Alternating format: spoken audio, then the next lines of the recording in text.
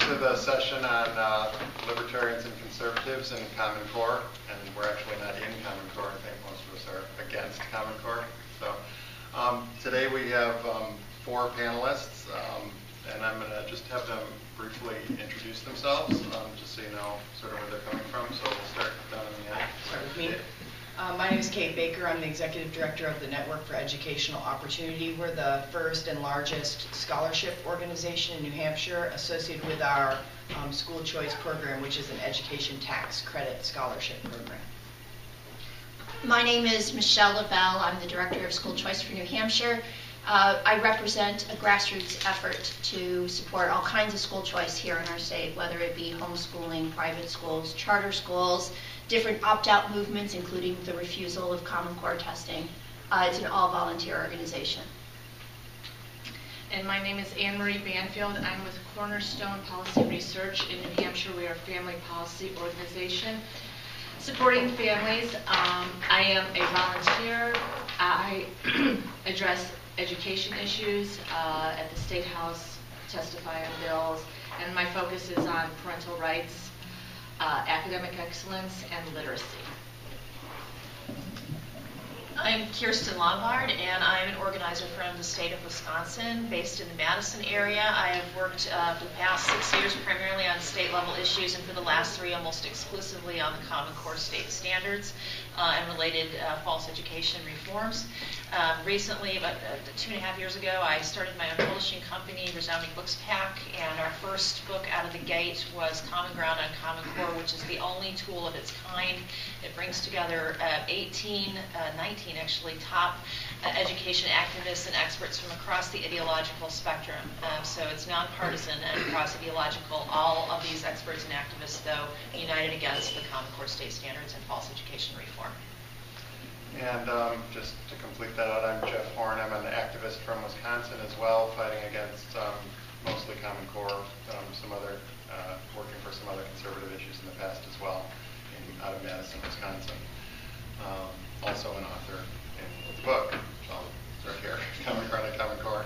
Um, I really do, if you haven't taken a look at this, try to get a look at it sometime this weekend, or, or we'll be around. Um, it really is a useful tool to talk to people, whether your neighbors, whether they're left, right, socialist, libertarian, care less, all of that. Um, there's arguments in here about why they should care about this issue. So um, I invite you to, to take a look at this. Um, I wanted to just start out, just I wanted to just look at the audience. How many, I, I to kind of tailor this, if this based on you a little bit. How many of you know what Common Core even is? Okay, uh, you've heard of it at least. You might have seen the homework. You might have things like you might have been through the homework and so on. Um, okay, so um, I think we're going to take a little bit of a, a, deeper dive into just sort of how some of this affects liberty and, conser- and conservatism as well, um, rather than just try to explain a lot because it's a big topic and we have about 40 minutes left. So um, I just uh, wanted to just start talking to some people in the panel about just their just to throw a couple of your major con- your major concerns about Common Core out there. So I'm wondering, Michelle, could you maybe say Oh, what your biggest concerns Sure. about Common Core? It's kind of hard to narrow it down, Right. uh, but there's, some of the big ones are that it's uh, not local control. It really has been a top-down effort uh, through Race to the Top grant funding, uh, and all these other funding efforts, like, so, and then there's privacy with the data mining and the lack of uh, control where that data goes because the federal FERPA laws were changed. It's, I, I, I know that's kind of a lot to digest really fast, but uh, there's just, I mean, there's, there's like at least 10, re- I've got 10 reasons that I keep track of why I dislike it. I, I just had one quick Yes. question. Uh, I'm a sitting legislator in Rhode Island, freshman Republican. Okay. Um, I understand, because we, I, there's a meeting, a couple meetings I'm going to, but there was a, a, of course, the education secretary is stepping down. He was a lot behind the race to the top. We lost our, uh, Deborah Gist, who went on to Oklahoma, she was a big proponent, we got grant money. But isn't there legislation right now in, uh, Washington, the Senate and the House both, I think, voted on it, and now they're in conference over it, I think. Yes. And, I I mean, for me personally, I'd like to hear what effect that might have, and, and, and going forward, does that change the equation at all? Because I think one was, one side was against more uh, p- parental control, the other was, that that was my understanding. So that would be very helpful to me personally. Uh, well, you can, there's, I mean, that's, that's, I I can't even remember how many pages are in that bill, so, in, in each bill. So you would have to go through each bill to figure out the good and the bad, and there is good and bad in, in the bills. So yes, the House voted on, it's the reauthorization of No Child Left Behind, if you're wondering what he's talking about. It's ESA, ESEA. Uh, th- There are big problems in both Both bills. bills. And we have taken a position against it, and we have lobbied our legislators, our U.S. congressmen and our U.S. senators against it. Unfortunately, uh, they, it- each side passed. So now that it is in a committee, and they are working through it. Um, However, I don't expect that to come out of committee anytime soon. Uh, You'd have to really, there's a, there's some great pieces written up, and- and I would write this down. American Principles Project, Emmett McGroarty, he was, he was actually here last weekend at, um, at a federalism forum that we had. He has written a critique that I think would, act- would benefit you. His name is Emmett McGroarty from American Principles Project. I can give you the information. He- He's the person that really has gone through each page, detail by detail, to, to tell you exactly what's wrong with the bill. And probably with a great deal of assistance from But other incredible Senate and House experts.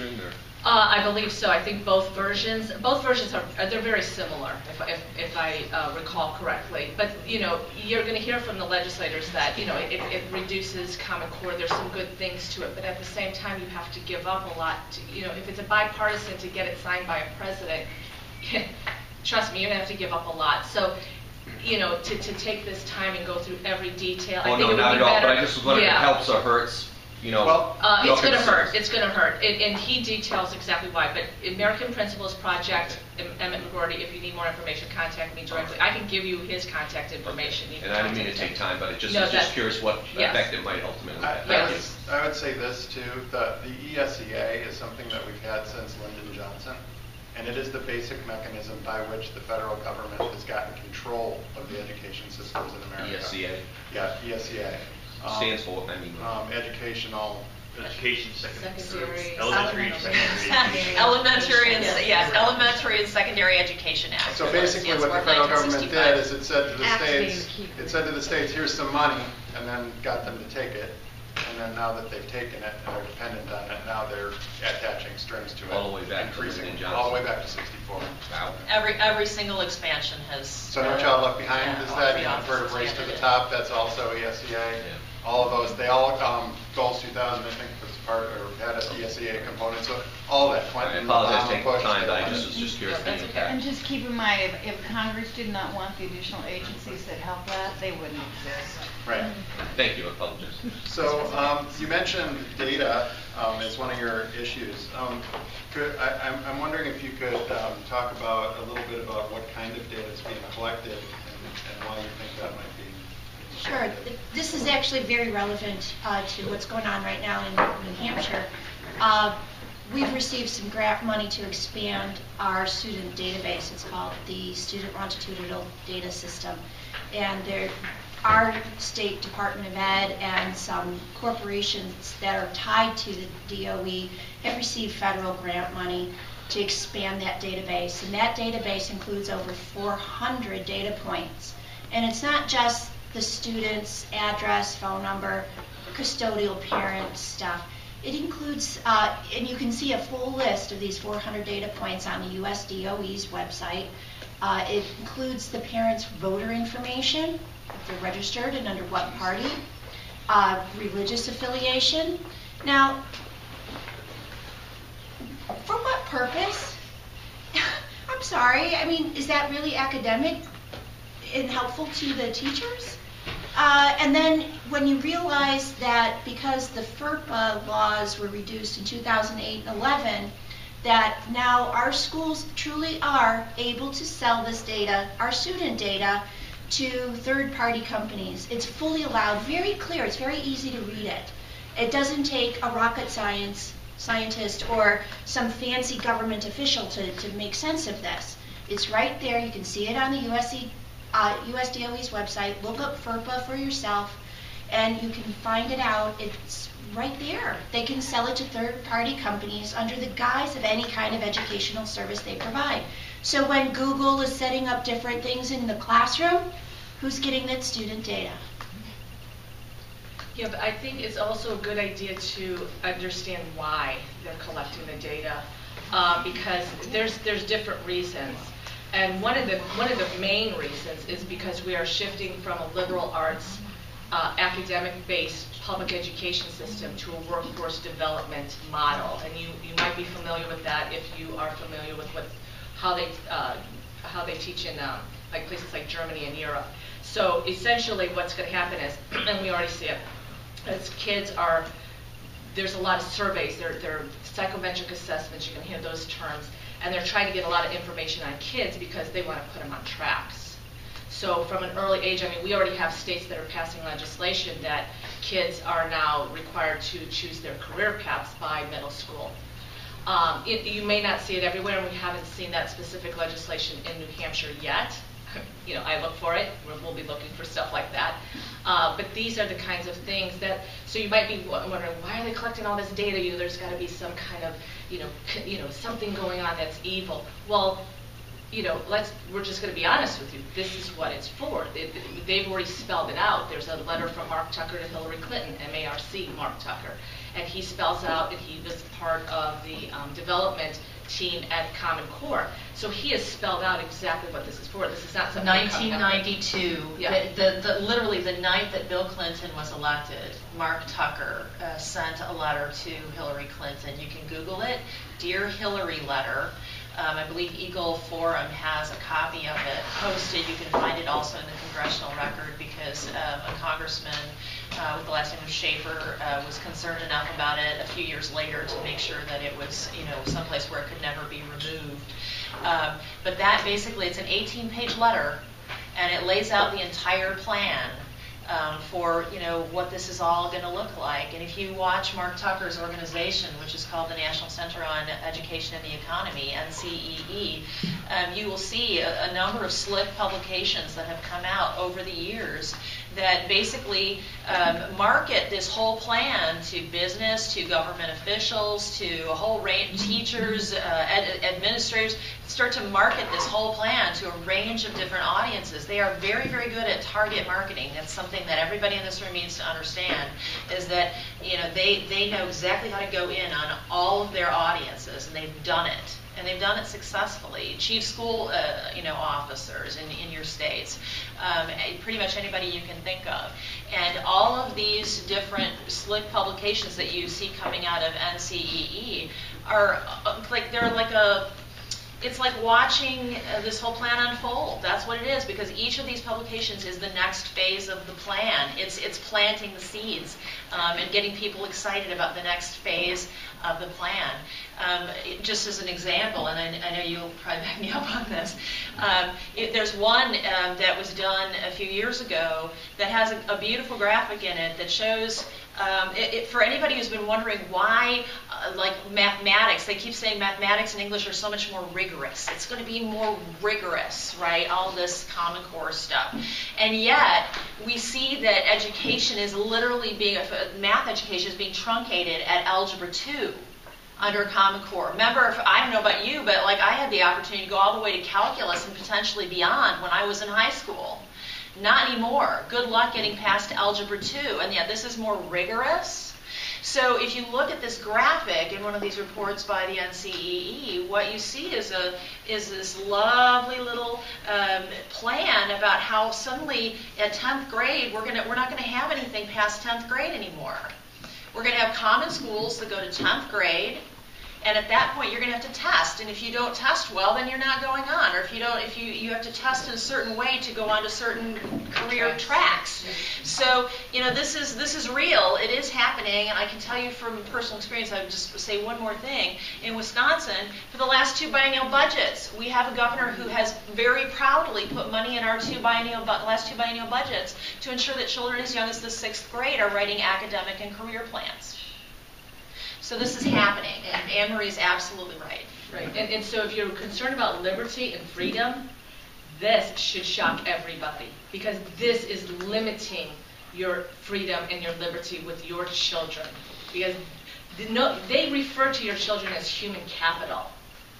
Okay, and so I, I was reading a book that uh, Sandra Stotsky was just part of part of writing, and in that book it said that education used to be uh, focused on teaching about freedom and liberty, and now it's about figuring out something about you know how where our kids fit into the workforce, and, and you know who trusts the government to do something like that. I mean, you know they, they have enough trouble delivering our mail and things like that. So, so at some point, the, so you know, you have central planners managing the economy. Now they need to centrally plan our children going through school. Um, if I could just comment on the, the Google thing you mentioned, um, my eyes started spinning in the back of my head. I have a 12 year old son that is in a public school in Johnston, Rhode Island. Um, so he just started middle school, and they were very proud that each child gets a MacBook, which sounds awesome. Um, well, a weekend, he also got a Google account, a Gmail email address. Um, I had to sign a paper understanding that I am not allowed to communicate with my son through that email account. I cannot access it. Only my son, other students that have access to that Google account, and the teachers and administration of that school are allowed to have access to that account. Google So has been sued when you talk about the data. parental rights thing, I can't, and I, and I had to sign a waiver saying, I understand, and my son needs to do this in order to get his public education.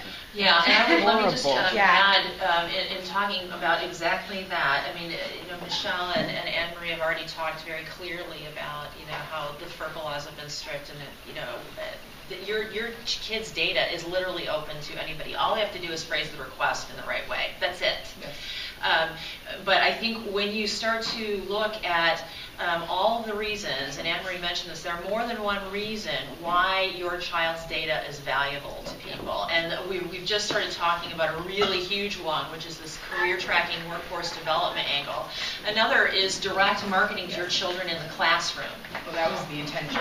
Yes. Of, of introducing it into, it's interesting, you know, I just want to share with you guys that I- my perspective is, just remember that I run the lifeboat company, and so my job actually is to help children who would otherwise be trapped in public schools get out. And so I don't tend to concern myself with the nitty gritty necessarily of Common Core. Had it remained just standards, Yes. I think we wouldn't be having this conversation. Exactly. The intention of Common Core, I believe, was actually to implement standards. I agree that standards should exist because I enjoy when a family calls me and says, I just saw the test scores come out of my neighborhood public school and I can see that my public school is not doing well. Right? Okay? Because again, remember, I run the lifeboat company, right? My job is to help children get out of public school and into an education option that works for them, right? Or, or a private school. So I like that accountability piece. I like the standards. Had Common Core actually been implemented by the states like it was intended to be, voluntarily as standards, I don't think we'd be having this conversation. I, I, Instead, it's turned into this like weird monster of a. Because it was right. That was that was the original. That's the crazy I, piece to yeah, me. I think I think Ann Marie and I might disagree Well, I just wanted to you. share with the Sure. audience that you guys are right. Yeah. and that it sounds conspiracy theorist. Like you might sit here and say, "Wow, this sounds really whack jobby," right? Right. But I, I, the the shocking thing is that people took these standards that were supposed to help, and now it's turned into like this incredible evil blob. you know, Yeah. It really is is crazy town. I- There's you two know? points of view on that, though. Yeah. So I think that some people would say that those standards were cr- actually created for this purpose. Yes. If you look at the genesis with And I- the, that's the- exactly the what I would companies say. that, the companies that put this together. This wasn't put together by professors or, ed- or teachers.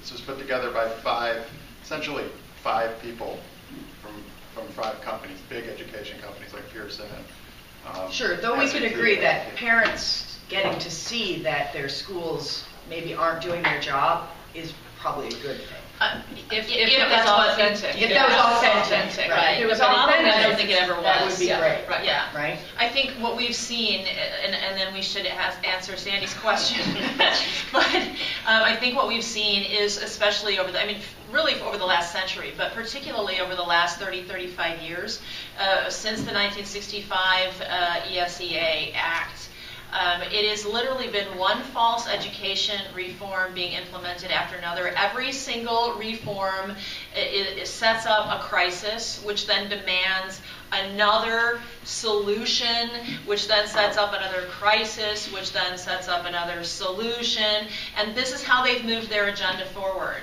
So there has not ever, ever, ever been anything benign about this. There's never been anything um, positive about it. I think it's been really, really bad and evil from Well, I the very think beginning. conceptually, that's Yes. because top-down doesn't Yeah, work. right. I agree. Right, we could, we'll all agree on that, that Yes. top-down doesn't work, that real authentic reform would come from parents Right. and kids and their neighborhood teachers Yes. who know that, right? When you, if you look at education as a whole, Yeah. when you see organizations that are closest to the parents and the kids and the teachers, like small schools, for example, or even some of the charter schools that are grassroots, not your big corporate charter schools, but like the ones we have in New Hampshire. right. These little grassroots, parent, teacher, child organizations. Then you get this authentic and responsive education environment. Right. Right? When you're doing this supposed to top down, you're totally Right. disconnected. So Sandy, I know. how- Mine's more of a statement. I Okay. came into the education world uh, with my children in 92, 3, 4. 94 was when they made that big move for the outcome based, performance based. So, Kirsten, you're absolutely right. And you can take it before the 60s, actually, but we'll start, where, I'm just going to start where I started in. And the agenda was there, and you better doggone well have your tinfoil hat on because it is a fact. They are out for control 100%. That's it. Yes. There's nothing else in this. The standards that they set now are terrible, and it's not about standards. It's about control. Anything else is, I'm sorry, is very naive. No, don't say opinion. sorry. I totally But- agree with you. I wish it was actually about standards. So, right? so I would have love to see public standards. schools No. held accountable. We need to get the national government out of it. It is not their job. It is constitutionally not their job. It is not in there for them to do it all. The only way is for the states to quit taking the candy and get back to local control. Right, and I, I think the, the other point that, that comes in, in exactly what you're saying, Sandy, is that it's unfortunately not just the federal government, it is a cronyistic government Absolutely. holding hands with big business. And this is, uh, frankly, if you start to look at public-private partnership, it's at the very root of almost every single problem that we have in this country. I cannot emphasize that strongly enough, but education is at the top of the list for me right now. Um, Jeff, do you want to take some other questions? Sure, so, yeah, let's take a question over here. How you doing? Um, For those in the audience, um, your comment about crony capitalism, you actually caught me in the loop. Now, you know, Companies like Pearson, which is, a- which is a London-based company, are, they literally make billions of this. My name's Larry Worrell, I'm a school board president in Pennsylvania, I was also University of Pittsburgh faculty. Um, There's so many things that we as school board members publicly were sold about the concept that are truly out, out front lies, okay? And we don't even have to get to the issue whether the curriculum's good or not, okay? All the rest of it, the data security and everything else, they're just not true. I mean, I've tracked everyone down. Um, you know, you know that this is not just a democratic issue. Okay, so who, who is the president with No Child Left Behind? Does anyone want to say? George W. Bush. Bush one. Who said you have to read this bill to read it? Guess what? Pelosi was not, was not even the first person. It was the Republican head of the House who said that about the No Child Left Behind bill when it was pushed on them and passed. So this is a bipartisan effort to change this in relationship to some really big companies to control uh, your issue of data and, and tracking. That's one word that people use. Tracking careers is certainly one of the motivations. For some of them, it's purely a profit motive, but it's billions of dollars guaranteed locked-in money with the kids left out of the picture. Yes. Take your question in the back. I want to apologize if this was already um, addressed, because I got in here a little late, but, and I was in New York this past weekend, the Mets, and I didn't pay as much attention as I should have. But New York is rebelling Oh, against yes. this big time. Oh, yes. You know, the, the police Oh, state, yes, the liberal tax mm-hmm. welfare state, and plus with Uber, they're also very much on board with Uber. But I was very surprised to hear this. Um, they are fighting, especially the national testing, tooth and nail right now. What is New Hampshire doing about this? Well, they're ahead of us. They're ahead of us by about a year or two, so I suspect that we're going to actually catch up to them at some point. Uh, also keep in mind that, um, you know, their former commissioner was just, who was pretty much run out of that state, is now going to be the U.S. Secretary of Education in this country. Cheers! So, so everybody cheered when, when Arne Duncan resigned um, a couple days ago, and, and then I said, "Oh, be very careful," and look who we we're going to get. They're, so they're ahead of us. So they, I want to be clear about um, the testing because. and- and Because I might agree with testing, Yeah, and- and remember? Kate's point, Yeah, I might agree with testing because I want parents to be able to see Yes, but- what the but schools are actually doing so they can make good decisions about where they think is the right education But we for their don't have that. right? But we, just to be clear, we don't have that. Because in order to get what Kate wants, we'd have to go back many years to when we actually use achievement tests. We no longer use achievement tests. That What we are using right now is a psychometric assessment. Right. These are the things that when you go to apply for a job, an employer might say, fill out this because we want to know where you fit into this organization. That's what these kids are taking. So now when these scores come in and they've plummeted, like in New York, we haven't gotten our scores yet, by the way, in New Hampshire. They're, they're holding on to them. Um, but, uh, so when the scores plummet, and they will, and, and- they're going to be released next month, um, ask yourself, oh goodness, is my school doing really bad? Are the teachers doing so bad? Or is it because they're using psychometric assessments and my children are not answering the way they want them to answer? For instance, they're going to assess their values, attitudes, and beliefs now.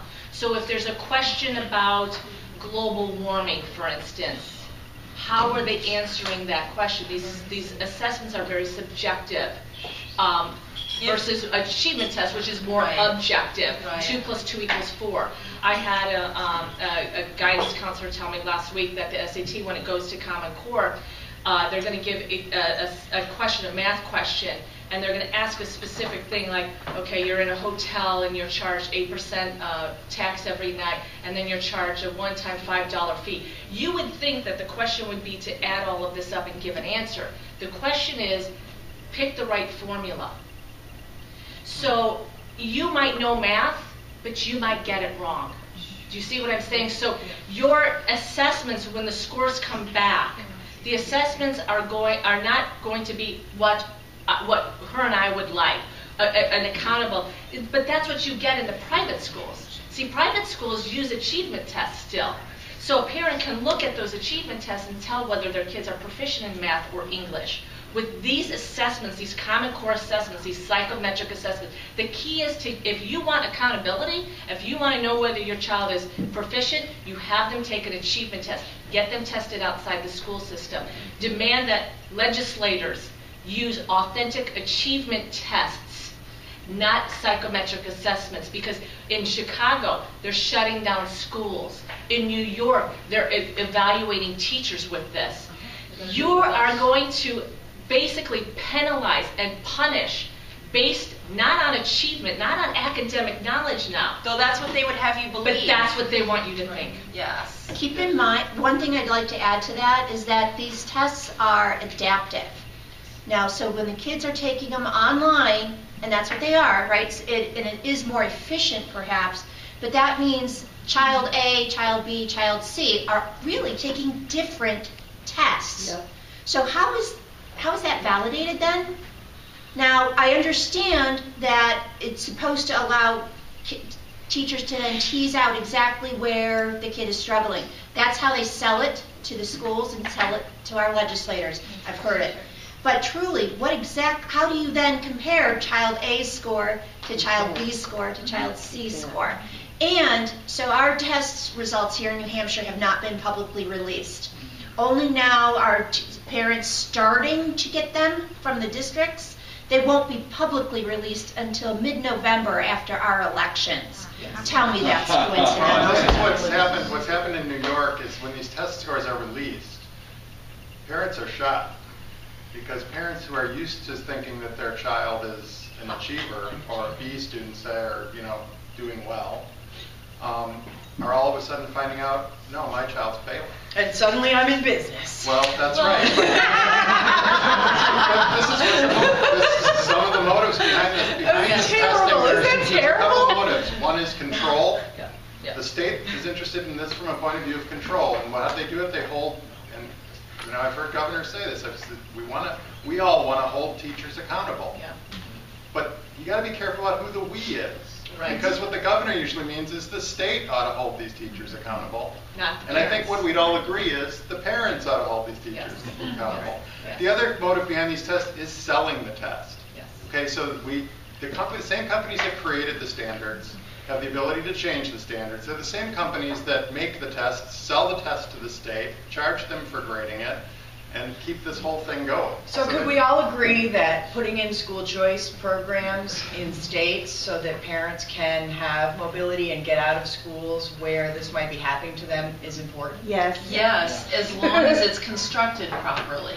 The problem is, in a state like Wisconsin, and we don't have the luxuries that you, I mean, you guys have Oh, really. Oh, I know, but I'm just well, but it is for the people now because you created it. Fair enough. We don't have that. We have a situation in Wisconsin where the state funds uh, to about two-thirds of public education. Um, when, you know, he who pays the piper calls the tune. I mean, that's how it goes. And now getting them to relinquish that uh, back to having local districts pay most of the money, you know, they know they're going to have a huge fight on their hands because the districts don't want to pick it up now. Uh, but that's but there's more and more people starting to scream local control. But as long as you've got the state um, doing most of the funding, and then you know federal funding coming in on top of that, you do not have local control. Even though technically we're a local control state, right? So I mean the the accountability measures, all the stuff that is be, that is happening in Wisconsin, it's all done to continually rope people back into the Common Core system, back into the managerialism, back into the centralized, standardized mess. And, and there's, there's no escape as long as the state remains the principal investor in education. I'm gonna take a question right here. Uh, just, uh, I'm from Wisconsin originally, I'm in New Hampshire now, and folks in New Hampshire can take, should pay close attention to what happened in Wisconsin, because Mm-hmm. property tax relief and income tax was sold as a element to relieve property tax. Bingo, Which is under the Tommy same thing they're doing here, we do Yes. not have an income tax in New Hampshire. So effectively, the income tax, bizarrely enough, is a backdoor into increased control That's over the school. correct. They're trying to do it in Pennsylvania too. So just, I just thought I would. That's right. This is, and I can tell you exactly how this went. Tommy G. Thompson, who for a lot, you may know, who was a former um, Health and Human Services Secretary under um, uh, President uh, Bush, George W. Um, he literally sold this to Wisconsin as the biggest property tax cut in Wisconsin history. At the same time, without telling people, he picked up it used to be that we funded education at the state level at about a third. We went to two-thirds under that arrangement. Oh, wow. Yeah. Could you Legislators expound a take little bit more? How was that sold? I'm sorry? How was that sold again? Um, so essentially what he did is he um, offered Wisconsin the largest property tax cut in Wisconsin history. Meanwhile, behind the scenes, he'd made an arrangement to pick up uh, education funding at the state level at two-thirds rather than what the one-third that it had been. And it did not decrease property taxes. No, it did I not. personally- The spending you ever went up. taxes decrease? Right. Exactly. Yeah, um, th- this, was- this was a major issue in the last legislative session, and you know, and I specifically asked me on HEW as well as on veterans, but what, parents came before our committee and they said, we want the ability to opt out of this testing. Right. So Right. I went to some of the meetings, and I actually was browbeating the official from the Department of Ed because I could, they would not admit that the parents could opt out. Right. And Right. finally, I, I got them to say, yes, you can opt out, but it was like, you know, the proverbial pulling teeth. Yeah. But ultimately, I was working with one of my Democratic colleagues for purposes of trying to create something different, you know, a, a bill to redress the, their parents' ability. The problem was, and you just kind of highlighted a little bit for me, um, we, they were using Common Core, and they moved to PARCC. And, and so I said to the official, I said, well, what's the difference between the two? Well, PARCC is, where one was, Common Core was like a five dollars a test, whatever it was. PARCC was like, yeah, NECAP, sorry. Yeah, Yeah, PARCC, Okay. eh, NECAP to PARCC. PARCC was thirty-five dollars a test. And we were, and it was eleven states, and now it was down to seven using it. So I said to her, well, what are we doing this for? Why are we moving to a more expensive test that less states are using? And again, the, I thought of achievement test, which is, I guess, what I grew up with, versus what you're saying, these uh, psychometric assessments, that's not even in discussion. So now that gives me another thought, but then we're waiting on, I guess, what the federal government does, because they kept saying, well, if not enough people take the test, you lose federal funds. Yes, so, so. They- Oh, that's a they threat. They That's- haven't that's actually huge done threat. it yet. But isn't that what's in this legislation? No, it's actually in No Child, in No Child Left Behind originally. If, if, if a school district or a state, I guess it could go up to the state level, I don't, don't think this has happened at a state level. If, if, le- if more than five percent of people don't take the test, Right. They can't use it to shut down schools. So there's, there's the threat in No Child Left Behind that if your school, and the threat is ridiculous. Mm-hmm. The, the George Bush level that he put there was that all schools will be hundred percent proficient with every student. We know that's just not possible, right? So he set up something that couldn't happen. Mm-hmm.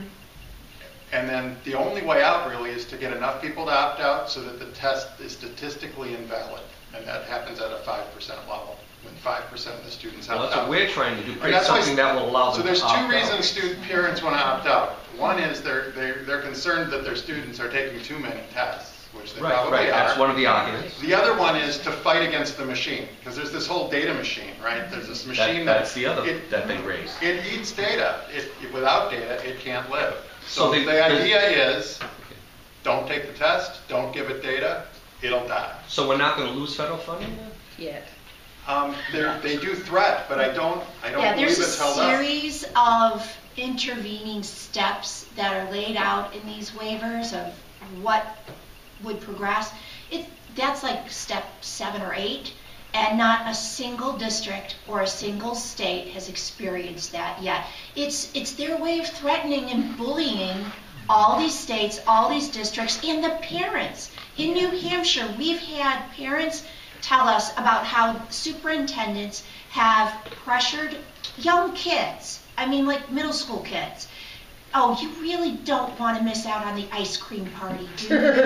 I mean, really?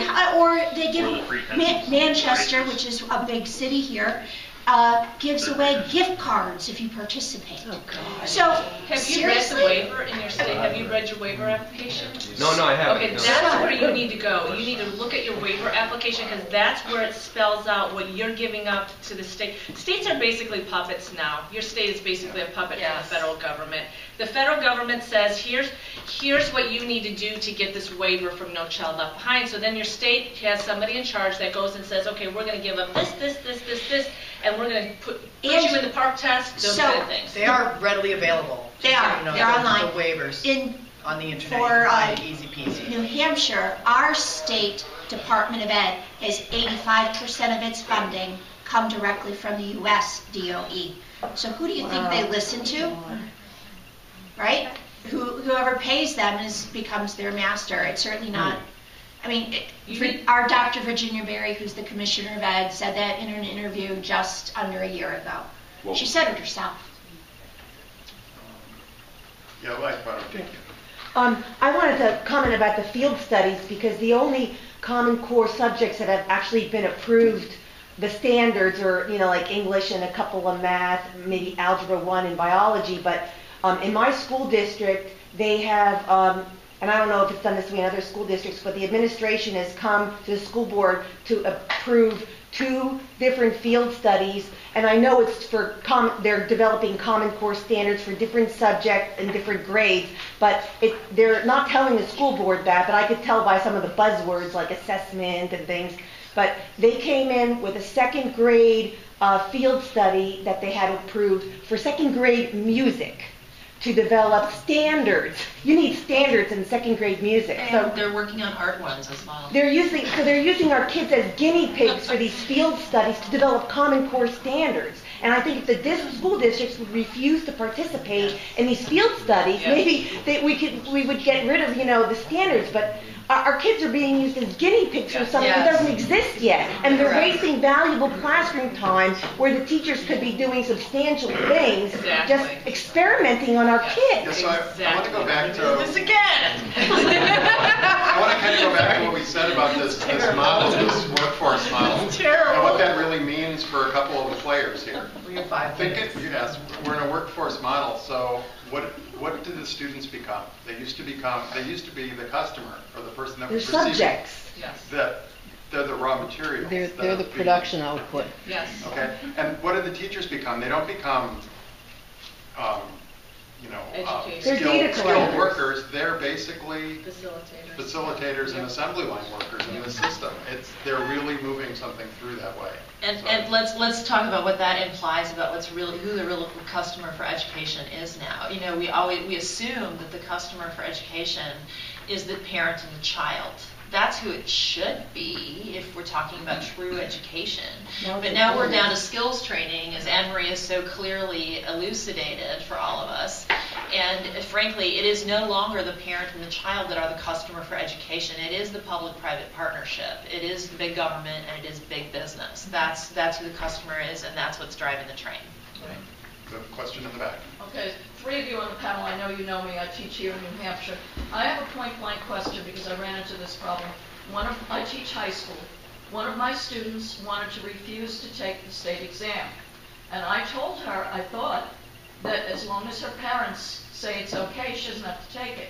My principal told me that that's not true. There have always been refusals.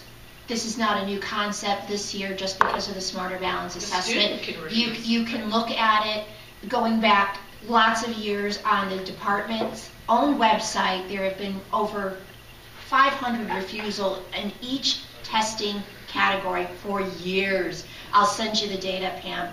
But oh. it's not new. But it's not necessarily It's not state easy. approved. Remember, it's not easy. It's not Yeah. easy. I mean, the kids easy. are pressured. Parents are did make her, pressured. she made, they, she was made, they took her out of my class and they made her sit there. They, they threaten uh, kids with truancy charges if they miss too many days because of the testing. I mean, they really make it difficult. They really don't want it to be a parental choice or even a student choice in the case of the high school kids. But I was right in telling her that. Yes, that is- absolutely. Yes, And- And we tell them that. And frankly, absolutely. the U.S. uh, Supreme Court has off, I mean, going back decades, there are court cases that support parents making the choice, even in their public schools, cho- choices for their kids.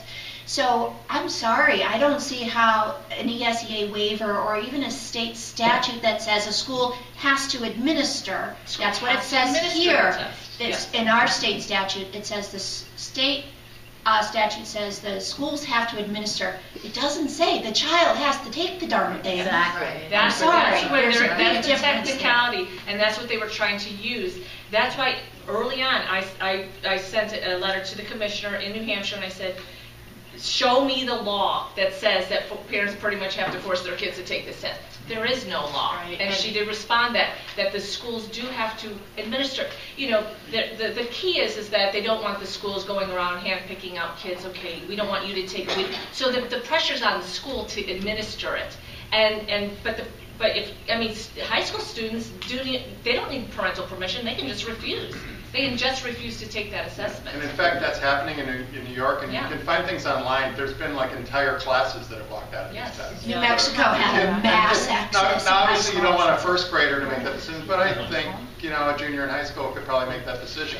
And, and I do, and let me just say too, that this is, this, going back to the fact that this is not a partisan issue, this is a, like, nonpartisan or bipartisan issue, and frankly, you see this on, pe- you know, people who identify on the left are screaming now, people who identify on the right are screaming, we need to be talking to each other, because the more divided we are, the easier it is for them to conquer us. So if you have not talked to your neighbors who you don't think will agree with you, try, please, because unless we are united in this, they are going to literally steamroll right And over to the us. few legislators in here, I think this is important. This is something that's just, I've started hearing the buzz here, and it's, it's great, and I hope people pick this up and start putting it in state and local law.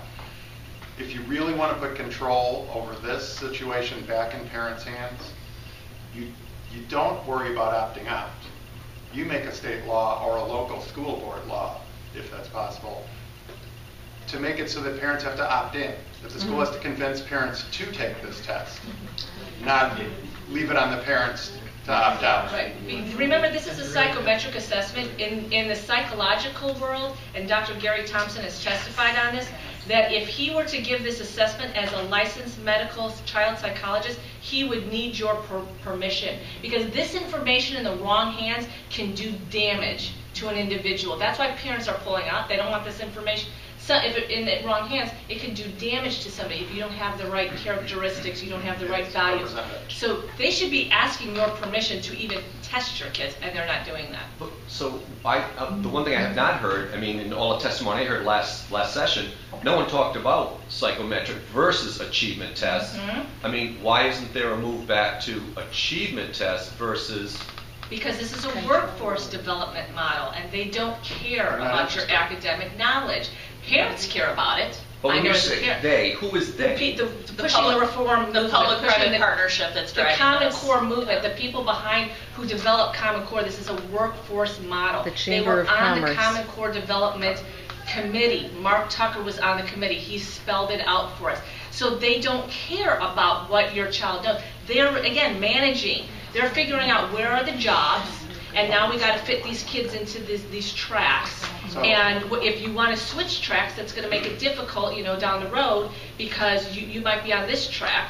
So do you see that? That's kind of the mentality. Now, as a state, there's things that you can do to fight back. Certainly, as a legislator, you can do some do things differently. Um, but I'm just trying to give you the, what their what their goal is, what their so they, you know, I, I agree. I think you, you know, go back to the achievement test. That's what they use in the private schools and the, in the parochial But schools. as, not- but as you're But you have an it's education, not what the. yeah, To you have your an question, education no, mission I- on your hands. I point to you, and I've got an essay in this book, and it- this is kind of dark and cynical, but that's what I do. I don't know why. I have a dark side. So, but here's the deal. I think that even though this is in the guise of, of, of teaching kids math and English, because that's, that's how parents, that's how parents will buy this. Yes. I think one of the other goals behind this is essentially to show our children in two ways, both through their own experience taking these tests and by looking at what happens to their teachers based on their kids' test results, that they're to get used to the idea of being surveilled mm-hmm. and judged on the results that, that people find. Both in the workforce, they see their teachers happen all the time. This is accountability, that's, and you're starting to see this in more and more places. The, the examples I use in my book are Walmart, Amazon, um, all of the things that I don't think our politicians would want to call the jobs of the future, but I think are going to be the jobs of the future. Under this plan. They're all heavy surveillance corporations. And I think one of the goals is to get people, and our society is becoming a heavy surveillance society. So in some ways, by the constant testing, the formative testing, you know, track moving your school career based on this, it all really gets people just used to the idea from, from the cradle on up that you're going to be watched and what you do is going to, is going to, you know, de- determine your future. This is, and that's this not is freedom. outcome-based education because you had brought that up. This is outcome-based Yes, education. This is. is the work, school-to-work model that we had years ago. Um, we've just, you know, it- it's On steroids. Yeah, in New Hampshire, Yeah. it's called competency-based education. Yes. So competencies, you know, your parents think, oh, my child's going to be competent in, in algebra. Uh-uh, no, that's not what competencies are about. And I'll give you a perfect example. In Bedford, where I live, uh, they assigned a book called uh, Nickel and Dime: Why You Can't Make It in America on Minimum Wage. Now let that sink in. This was in a personal finance class. It was written by a socialist, a, a, a political activist, in a personal finance class about how you cannot make it on minimum wage in America. And so when I pushed, because I live in, in Bedford, when I pushed, you know, why, why was this book even chosen in a personal finance class where you're supposed to be learning about simple interest, calculating those kind of things? Uh, it was based on a competency. Okay? The competencies are not academic. They are skills. Are you creative enough? Do you collaborate? Those kind of workforce. This supposedly this is going to help you in the workforce, but what it's doing is it's shifting, shifting the focus from a, for a teacher away from academics to make sure in a math class now I got to get the kids collaborating. Yep. Now I got to get them creative. So I hear complaints from math teachers trying to get through an algebra one course saying now I got to get the kids collaborating because this is what the business world wants. The business world wants literate. I can tell you, I've done a lot of Yes. business. They want somebody who can add, subtract, and write, and spell, and have vocabulary words. those kind of things. This is, this is your essential planners telling you what the business world wants. Yeah. But if you actually talk to business people, you'll find that a lot of them just want literate. So that's why we focus a lot of times, those of us um, involved in, in New Hampshire, on literacy and academic excellence and, you know, true school, school choice is what we want. But what under, under some of this, what we're seeing in Wisconsin is you're not getting school choice because everybody's going to go to Common Core, even the private schools. So right. we work very hard, the three of us in this state and other people, to make sure that when we talk about school choice, it's authentic. Because we're, as we move to this workforce model, they're going to be pulling in the private schools and the charter schools. We want to make sure that that doesn't happen in New Hampshire. So I, I want to point out one of the goals of this, and if you can go to this, uh, I'm going to point out a document from the Department of Education that's famous for a different reason than what I'm going to, it's, it's called, uh, it's on grit, tenacity, and perseverance. Okay, so it's the Department of Education. Now, it's famous because a lot of people that'll talk about Common Core will show about all the futuristic devices they have in there to monitor our children's heartbeats and eye movements and stuff while they take tests. Those aren't being used currently, but they are in there, and it is sensational, and you might want to look at that. But the most scary part of this document to me is that what it says our children really need to get grit, tenacity, and perseverance to endure in the future is not these demanding jobs that are like, take a lot of brain power. They need to, it says right in there that they need to be prepared to deal with long periods of boredom. Oh, God. Yep. Without blowing That's what they need to persevere. So what is that, what kind of jobs does that like say to you? Which kind of jobs, those aren't the STEM jobs or the science and technology ones we were, we were promised, or at least not the ones parents think of when Right. it's said. Um, What jobs are those? What, what is Department of, Edu- of uh, Education preparing our, wanting our children to be prepared for? George Jetson jobs. Okay, so, um, uh, I, I guess we'll, uh, some of us will stay for questions, I think, after, I don't think the room's being I used, think but- Kate's got a book Kate- signing at Yep. ele- like. Oh, some, oh, sorry, sorry, sorry, sorry. Um, we, I, we have a book signing at three o'clock this afternoon in, uh, one of the boardrooms. If you check the schedule, um, we will be there with copies of the book and we would, uh, love to sign and talk to you further, uh, Jeff and I. Um, and I know that, I know, I mean, anybody else on this panel is delighted to talk to you further today as well. Thank you, thank you, everybody. Thanks so much, I'm glad to see you.